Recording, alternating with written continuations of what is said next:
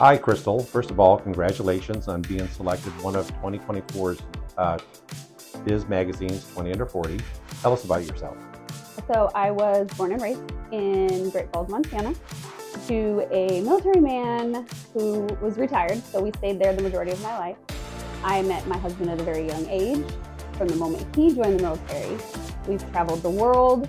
That brought me into teaching because we were overseas, and I thought, mm, I don't want to be a stay-at-home mom forever. So I went back to school online overseas, got my degree in education, and then I taught third grade for about six years in South Carolina and my husband tried to retire, we got bored, so I joined the military as a civilian, which then took a break from teaching for a few years, and then I felt like something was missing, so I came back to teaching, and it's my second year back with Crane School District, and I have three wonderful, amazing kids that are super active in the community, so beyond teaching, I am involved with the high school sports, travel basketball, travel football, um, never get a break.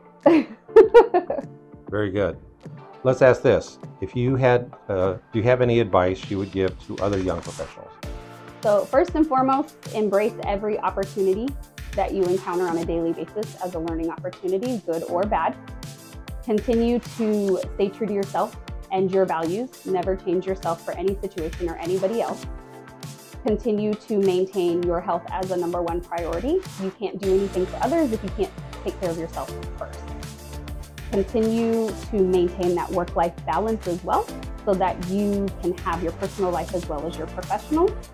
But also, the one thing more important is to remember that acronym of CLASS, which is to celebrate life and those small successes.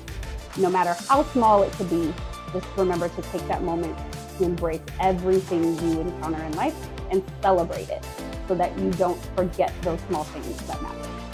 Very good. Uh, the third one is a fun question. If you were an animal, what animal would be and why? Immediately an octopus, because between, like I said, having my own personal life, my children, being a teacher, having to continuously multitask both personal and professional, an octopus's hands are all over the place and busy, multitasking multiple different things at all times.